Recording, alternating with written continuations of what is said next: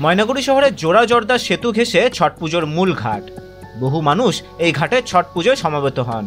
এই নদী এখন ভয়ঙ্কর রূপ নিয়েছে। নদীগর্ভের মাটির ক্ষয়ে অসংখ্য গর্তের সৃষ্টি হয়েছে। গত ছয় বছরে জর্দা নদীর বিভিন্ন ঘাটে জলে ডুবে মৃত্যুর সংখ্যা আঠেরো জন। সুখা মরশুমেও জর্দার বিভিন্ন ঘাটে দুর্ঘটনা ঘটেছে। শহরের মহাকালপাড়া, সাহাপাড়া এবং শ্মশানঘাটে এই দুর্ঘটনাগুলি ঘটেছে। এদিকে দশমীর দিন মাল নদীতে হরপায় মৃত্যুর ঘটনার পর এই ঘাটগুলি নিয়েও উদ্বেগ ছড়িয়েছে। ছট পুজোয় পূর্ণার্থীদের অস্বাভাবিক ভিড় হয় এখানে। পুজো উদ্যোক্তারা জানান, এই বিষয়ে প্রশাসনের সঙ্গে আলোচনা করে তারা পদক্ষেপ নেবেন।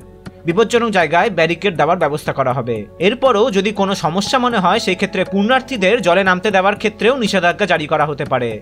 তবে সবটাই পরিস্থিতি সাপেক্ষে এবং প্রশাসনের নির্দেশ অনুযায়ী হবে।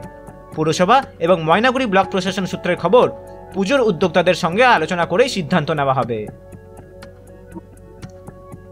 ময়নাগুড়ি থেকে বাণীব্রত চক্রবর্তী রিপোর্ট উত্তরবঙ্গ সংবাদ।